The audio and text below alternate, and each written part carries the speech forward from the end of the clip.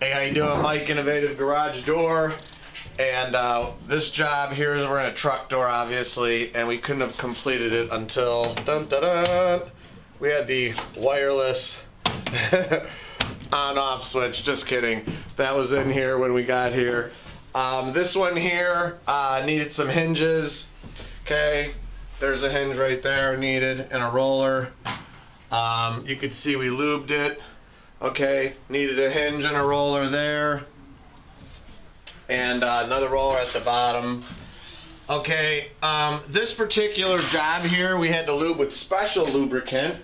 This is for um, particular jobs where food is represented because it does not have any of the bad stuff in there that is will affect food. So we have to we do quite a few of these um, truck and trailer jobs where we have to use this special uh, specialty lube.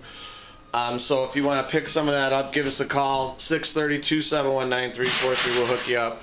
Um, no sections on this one, but just a couple hinges and rollers for this truck door repair, and then it got the special lubricant. Um, that we put on here for the bread and food industry. We don't use regular oil um, because it's got stuff in it, and the aerosol's got stuff in it that's bad for the food and stuff. So we don't use that. We use this stuff. It's recommended.